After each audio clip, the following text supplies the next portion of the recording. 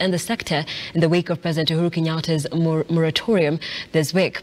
Interior Cabinet Secretary Fred Matiang'i says the move will allow stakeholders to regulate the scrap metal sector blamed for Kenya Power Line's vandalism.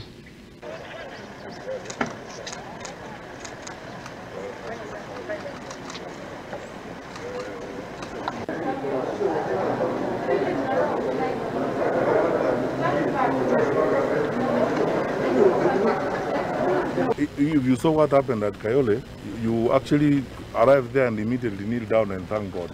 We had hundreds of our people right under those pylons. Imagine if that caught fire. Would have lost hundreds of our people.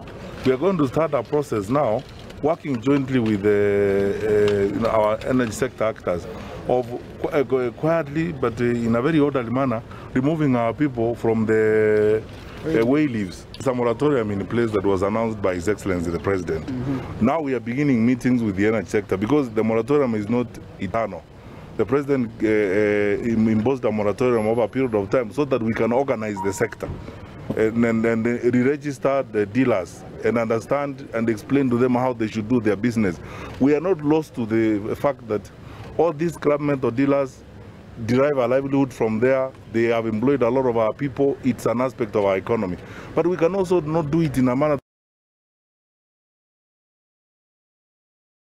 that then they